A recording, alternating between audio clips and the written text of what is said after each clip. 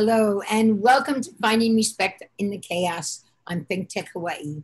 I'm so glad you guys have joined us today. I'm here with, ready for this? Everybody sitting down? Miss United States, you guys. This is big. Amanda Smith is here with me today, and I want you guys to welcome her. Thank you so much for coming today. Thank you so much for having me. I'm excited to talk about what I do and who what's going on. I love having inspiring stories to share with you guys here. And as most of you know, this is a safe place for survivors of abuse to tell their stories and a place for advocates to share important resources. And more than anything, to show other people out there that there's hope and healing on the other side of abuse. And you can overcome with the right help and the right resources. Everyone can overcome this. You are not alone. So we have an amazing story, and let's get right to your story, Amanda. I'm so excited to share this with you. Could you tell us just a little bit about your past, if you wouldn't mind, um, so we get a, a little bit of a background and we can really appreciate all the amazing things you're doing now? Yeah. So when, let's see, where should I start? When I was a kid, I fell in love with the Food Network. I remember watching it on the TV screen and I was fascinated by all these chefs who were able to cook these amazing dishes. Not just that, a lot of them had sustainable foods. They were using foods from farmers markets or they would talk about it. So I was getting a lot of that knowledge through actual Food Network, which was really cool. Um, the second thing was I was I had bad allergies growing up. I had dairy allergies. I was constantly bloated. I was always getting sick so if I'd eat a bunch of sugar, um, my dad always said when you were young, you know, you would eat all that stuff that we'd feed you and then you get an ear infection. And so I always knew that I had something that was different. Like I wasn't like my sisters who could eat hot dogs and hamburgers or Taco Bell all the time. And that's what we ate. You know, every typical kid would eat something like that. But I always knew I had to be different when it came to food. And at that age, you know, I always had, I, I, always told myself, I want to be that person who helps others, you know, connect with food. And, you know, you don't have to have allergies all the time, right? I mean, at that age, I was probably 12 when I realized, okay, I need to tell my parents I can't have that kind of food. And I, I started just kind of eating what, you know, like the vegetables my mom would serve or, you know, different things in the house. Um, I would still eat the junk, you know, I wasn't 100% uh, all there. Of course, I'm 12. Um, but I was really inspired by the Food Network to push forward and to to look at what kind of ingredients they were using, and I would sneak peek whatever my stepmom was cooking at the time, and uh, my grandma cooked a lot when I was a kid. We used to go down there to LA. I was uh, raised in Bakersfield, California, but born in Torrance, California. And so my grandparents lived in the LA area in Carson, California. And we'd always go visit them on the weekends or when we could for the month. And my grandma had uh, tons of Filipino food. That was my favorite, right? All the good, yummy stuff. And my favorite thing was beef and broccoli. That's all I would eat with her. but yeah, that that's the uh, humble beginnings of when I really realized that I love food. I absolutely love it. And so I I know you got um, and I can't wait to start talking about the Menehune chef that you've started for school age kids. But can we um, if you wouldn't mind sharing just a little bit more about some of the things that happened when you were younger that has sort of brought you to the place that you are now. Yeah, yeah. So um, when I was a kid, my parents were, you know, about three years old. They became divorced. You know, they were, I don't know what their problem was. All I know is that one cheated on another, or supposedly. Uh, or, you know, my mom was 16 years old when she had me and didn't really understand the dynamics of having kids. And, you know, that's a young age. And, you know, she had a second child, maybe at 18, closer to 18 years old. And now she had two kids at 18. And there was a lot of shuffling or not watching us or, you know, leaving us in different areas that weren't really safe. Um, then there was, you know, the divorce. You know, I had to stay with my mom. Um, my dad was still working and trying to make it, you know, you know, financially and my mom just got into really bad relationships so it was always you know one thing after another. Drugs it didn't matter alcohol you know abuse she was abused um, you know and there was some of it we seen when we were young. I don't remember it per se uh, but it happened. And my dad ended up marrying an alcoholic and a drug addict as well. And she was uh, mentally and emotional there's different types of abuse obviously and mentally and emotionally and then there was physical at t- sometimes as well where you know anybody like that it's like walking on eggshells and not knowing you know i was the people pleaser. I was raised to be that way like how do i you know get food on the table or how do i make sure i have a next meal or i want to feel safe? And so i would always do things for people. I overgave. And that trickled down into my adulthood which i had to have a lot of therapy for and to realize oh, that's why I was doing what I was doing and not stepping back and taking care of myself and getting into bad relationships, right? So, I mean, the point of this is that you can become resilient if you realize what the problem is and get the help you need and don't be afraid to ask. Like, if you feel something in your gut isn't right, it probably isn't right, right? So, I, um, yeah, it took a lot of um, lessons a lot of bad relationships, alcoholics, people who were, you know, drug, like I said, drugs. I thought it was normal. This was normal to me that a relationship would include uh, drugs and alcohol. Wow. Well, you certainly have overcome all of that and went on to be an amazing, well, Miss United States, which I think you definitely deserve the honor. So I'm very glad that you got it the title because you definitely deserve it. And now you did you start Menehune Chef before uh, your pageant stuff or was that after your pageant stuff? Actually, it was before, and it was right before I ran for the Mrs. division because I was previously married, uh, been divorced for five years. And that kind of led into when I had my kids, I became more inspired to want to cook healthy for them because I remember when I was a kid, not feeling good when I would eat super bad. So I literally, I literally created this program for schools. I wrote a curriculum and I just taught it and filmed it and got my kids involved and it just became super popular. And I thought, well, I might as well put it into the pageantry because it's a great platform, um, you know, worldwide, not just for my kids or the schools here in Hawaii. It's great for everybody around the world because we can use sustainable foods. And so Menehune Chef literally means little chef. And so I teach kids and families how to cook with sustainable foods grown in the Hawaiian Islands.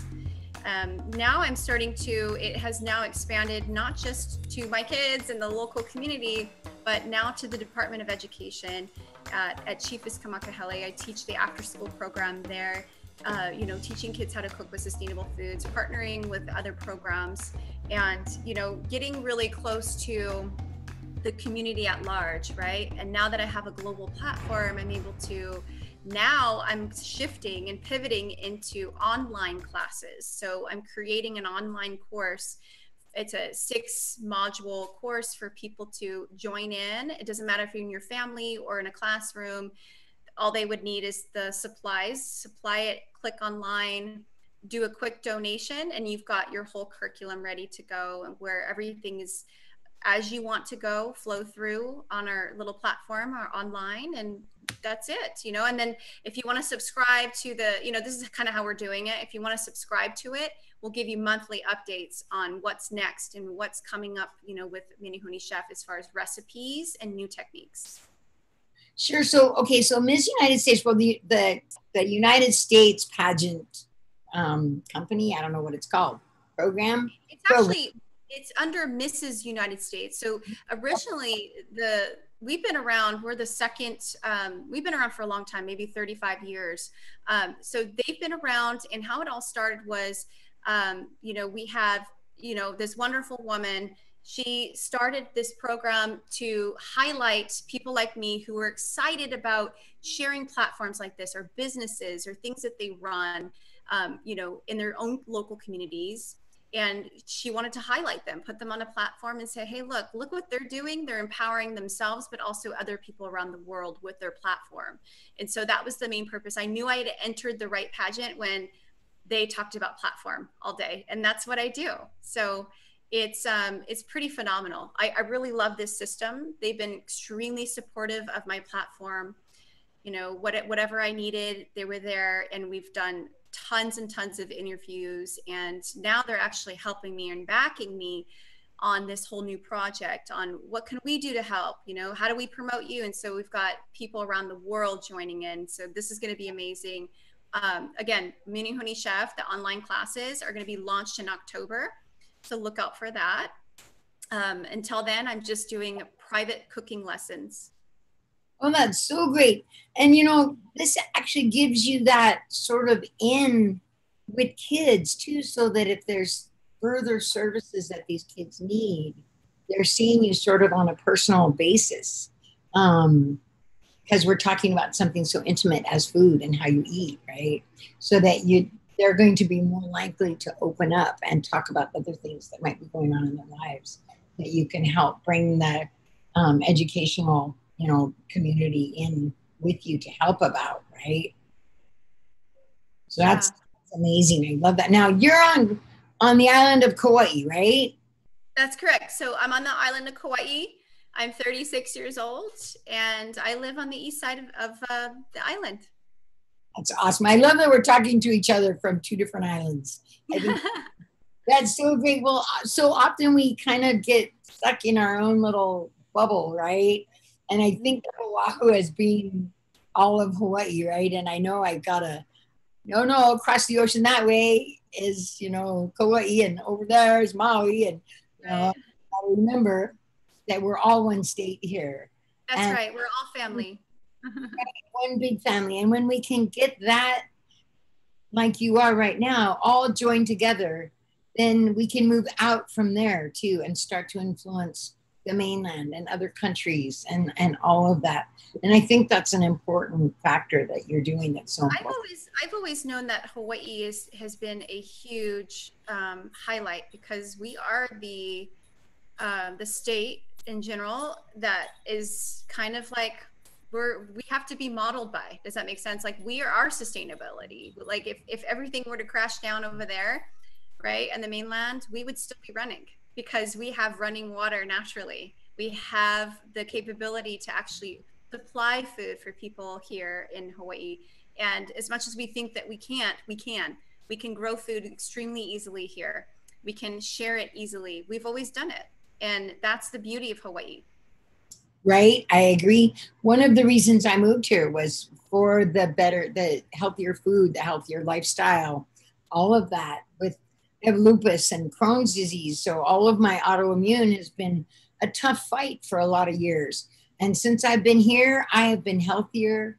I eat what grows across the street. You know, I walk over to the fruit stand and grab a few things and come home. And I hardly ever cook because most everything I eat is live food, um, fruits. Um, it brings you closer energetically. I think people don't realize that. And this is why I've started Menehune Chef is that energetically, we're all made of that substance called energy, right? And if we're eating from plants, if we're eating, you know, things that are sourced from your land or anything that's around you, you're ultimately going to be super healthy. It doesn't matter.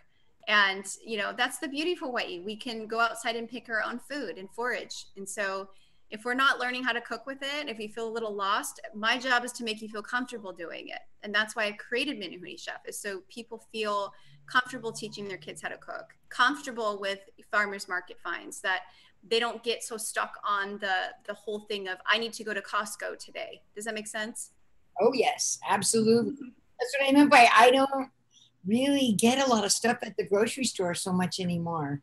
Um, I mean, it's great. It's a great luxury, right? it, it is a really good luxury to have. But and I, I mean, I go to cleaning products and paper products and things like that. But to be honest, I get most of my food across the street. Perfect. Know? See, we are so abundant, and you know, I think of abundance as what we're growing outside. If you want to become abundant, where people think it's about money, it's really about what you're growing in your yard and how you're actually fulfilling yourself with the, the really good food, right? We want the good, healthy food around us. Right. Absolutely. My my last guest was um, that was on is a girl I went to high school with who is removing landmines from the earth everywhere in like 30 different countries and replacing it, not just pulling the landmines out, but replacing it with agribusiness so that wow. these farmers are able to go out and farm their land again. And they are. And now they've got a business and they can sell that their incredible. I love that. That's the best story. People who are doing extreme things deserve praise.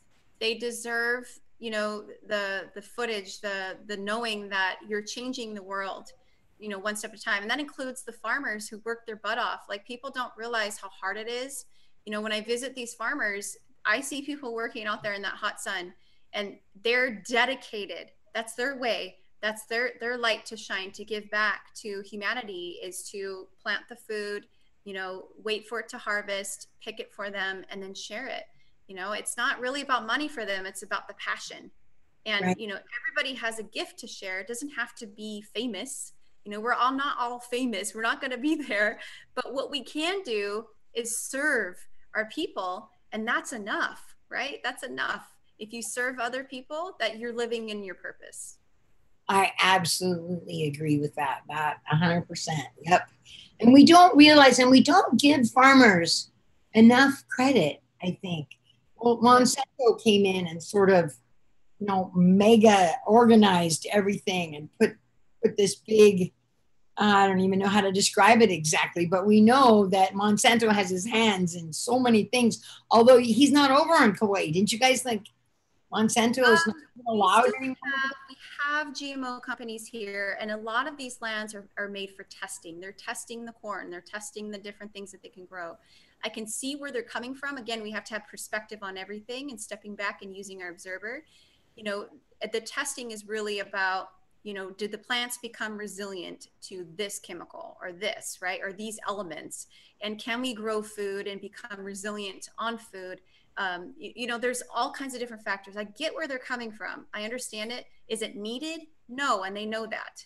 So, but see, that's where I turn and I say, no, pivot because that's not what our lands are really made from. If you look back into history, people survived off of food off the land for many, many years without having a GMO company do it for us. You know, the whole thing is that we need to produce mass amount of food. We're actually wasting food. And so people don't realize, you know, when it comes to sustainability, it's not just about the food. People kind of are like, oh, become sustainable in the plastic. It's more than that. It's the land you're working with, the animals, it's the packaging, it's where the fuel comes from, right? And so all of that, those are all factors we really need to look into. And now more than ever with COVID 19 and this whole scare going on with all these colds, people are thinking of different ways. How do we become sustainable now? Because we can't rely on the government anymore, right? We can financially, but what are we going to do? How are we going to pivot our lives to become better and to rely on ourselves versus becoming entitled to America? Absolutely. So, can you give us a few tips on how you and your family, you and your kids have sort of been making it through all this lockdown, no school, homeschool stuff? Yeah so i have um, you know 50 50 with my ex-husband and so it's been actually kind of cool because the kids get tired of being in one spot in the house all day or you know well I, over here i live by a bike path and so i'm taking them biking i'm taking them hiking i'm taking them out. There's no people around us. We're just adventuring here on kauai. So um, of course wearing masks and we're keeping so- social distancing because i do think that there is obviously a virus going around. People are dying. So the protection is is to make sure your kids are living um, and going outside and still being a kid and not keeping them cooped into the house making sure that they're reading making sure that they're learning something new every single time. Not just that they're learning practical skills about cooking and that's what mom does. So i'm teaching them that. We've been doing a lot of videos on sharing recipes with uh, farmers market finds uh, Malama Kauai. You heard of them? Malama Kauai?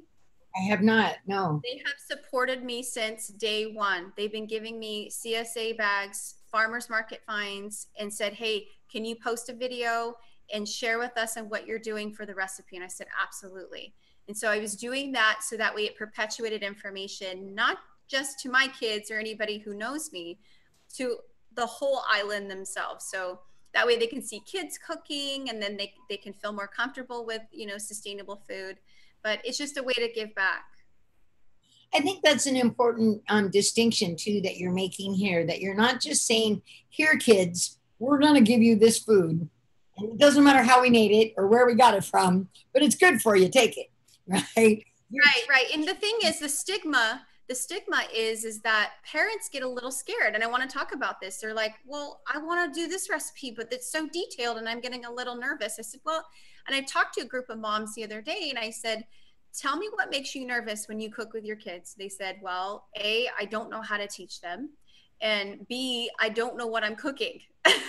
so even if they are healthy, they're like, well, how do I create healthy dishes? Because our generations, including ourselves, we've been given ding dongs, like you said, or, you know, hot dogs and things that are easily accessible food. So how do we change the dynamic the dynamic for people and the way to do it is to actually teach people to feel comfortable and to know that it's okay. You can go to the farmer's market, it takes five minutes, take your kids, go to the house, look up the vegetable and start cooking. Like just let them participate. That's the number one thing. And allow them to use knives. That's another thing. Nylon knives on Amazon.com. They're they were $5.95. I bought a whole kit. And the kids actually learn right? And so if you want to learn more information on how to cut with a nylon knife, or if you want to get more comfortable with eating sustainable foods, then you're going to go to menehunechef.org. You're going to find out. I love that.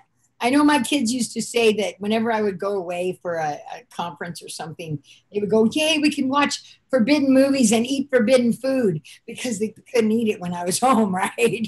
And it would be stuff like pizza and all that kind of junk food. Know, I'm not saying get rid of it all. I'm just saying, you know, pull back a little bit and teach a practical skill and become comfortable. Your kids are going to want to eat what you're cooking. It doesn't matter if it's super healthy or broccoli or whatever. They're going to want to try it. I've seen kids do it nine times out of 10, filming them. Even though they don't like it, they'll spit it out. They're trying it. And so that makes me happy. It doesn't matter. My son has done it so many times. I'm like, nope, keep it raw. We're not taking that out. We're not going to fluff anything with Menehune Chef. It's all about being real and sharing that. Hey, look, he tried it. He spit it out, but you're going to try it too. Watch. You know. So it's it's a it's a cool thing too, right? So yeah. So the whole thing is the the practical math skills. You're going to learn practical math. You're going to get some confident kids who are comfortable with using knives, and also parents. Right. I know that my kids have both grown up. Well, three, all three of my boys have grown up to be chefs. One of Perfect. them is a professional chef, even. And he's all about it's got to be healthy, it's got to be good. I'm not going to give people a bunch of junk. And I think, now, why did you have that attitude when you were younger? Yeah. and I'd have to fight for it, right? You know, but not so much. They would still, they get hungry. So if you only give them one thing, they're going to eat it because what they get, you know. So yeah. um, I love it. Yeah. And then so, you know, with Mini Menehune Chef at the platform, I I took it into 2015. I started running in, you know, the Mrs. division all the way up till before I got divorced. And, you know, I, I would always get first runner up. And, you know, I, I just, I like the idea of being able to advertise what I'm doing on a bigger stage. So when I joined in one last time after I got a divorce, I was like, okay, I'm going to try to see if I can make states at least. And as a divorced woman, and lo and behold, I became Ms. Hawaii in on Oahu. I flew out there with my daughter.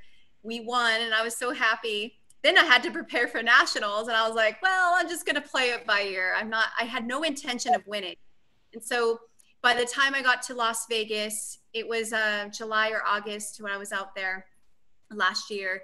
I remember going there. I was a day late and I didn't get to meet all the girls. I did that on purpose because I don't want to feel nervous, right? I got a little scared. But then I went into, um, you know, the whole meeting that I was supposed to go to, pick up our packets and all that. Um, and then I felt oddly comfortable, which was not like me because I'm very shy with other people. And, but I love doing TV hosting and all that, right?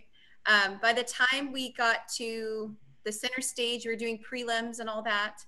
I was a little shocked because the next day they were calling out the numbers, right? Like, okay, we're at top five. And once you hit top five, you have to give a speech, right?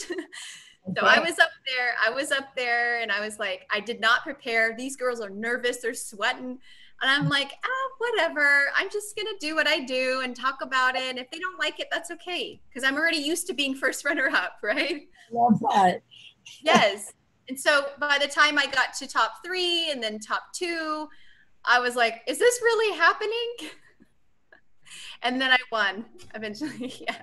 I'm glad you did because you definitely deserve it. And your platform is just amazing. And the fact Thank that you so changes for kids is what's Thank so important. I'm all about let's teach the kids, let's teach them young about all of it, about, you know, no more abuse for kids, no more no more bad food, no more, you know, bad eating, and even those kind of things alone, just those two things alone can radically change the life of a kid and right. how they progress into adulthood.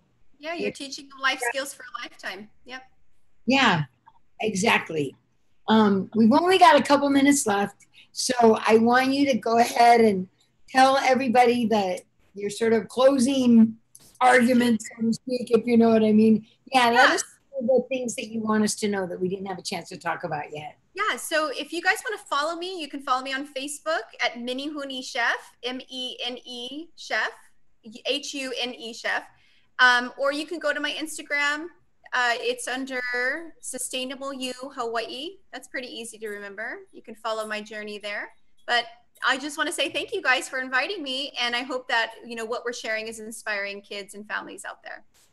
Oh, I know that it is. And I want to thank you so much for coming on, Amanda. And I'm going to keep an eye on you. So I'm going to invite you back in October after everything gets up and running and we'll see how it's all going. And you'll have to come and share yeah, with I'll us. Come back on it. I'll, maybe October. I'll meet you in October. There we go. Sounds like a wonderful plan. I like that. Thank all right, you. guys. See you later. All right. Take care. And I want to thank everyone for coming and joining us today for finding respect in the chaos here on Think Tech Hawaii. Please join us every other Wednesday at 2 o'clock. We'll see you then. Hello.